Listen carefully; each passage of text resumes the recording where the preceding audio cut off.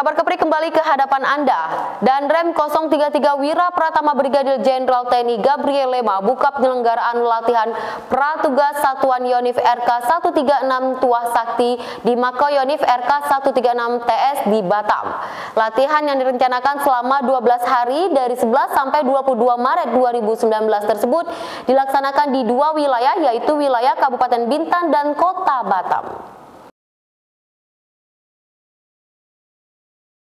Dalam pengarahannya, Dandre menyampaikan Satuan Tugas Yonif RK-136TS harus memiliki kemampuan teknis, taktis, dan tempur yang handal sebagai modal dalam pelaksanaan tugas. Khususnya tugas daerah rawan Maluku dan Maluku Utara yang menjadi salah satu tugas pokok Satuan Tempur Yonif RK-136TS. Sebagai prajurit penugasan ke daerah rawan konflik adalah merupakan suatu kehormatan dan kebanggaan. Untuk itu, Para prajurit RK-136TS harus mempunyai bekal kemampuan yang handal, yang terlatih, memiliki daya juang dan daya tahan yang kuat secara fisik dan psikis.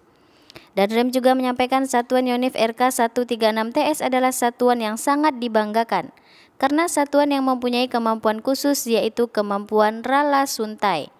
Yang terpenting, Para prajurit adalah selalu berdoa kepada Tuhan Yang Maha Esa dan tumbuhkan kesamaan visi dan persepsi dalam melaksanakan tugas dan tanggung jawab yang dibebankan di pundak prajurit. Termasuk juga selalu memupuk jiwa korsa dan kekompakan serta soliditas satuan, sehingga Yonif RK 136TS benar-benar selalu siap melaksanakan tugas yang diembankan oleh negara dan bangsa dalam menjaga dan mengamankan kedaulatan negara kesatuan Republik Indonesia.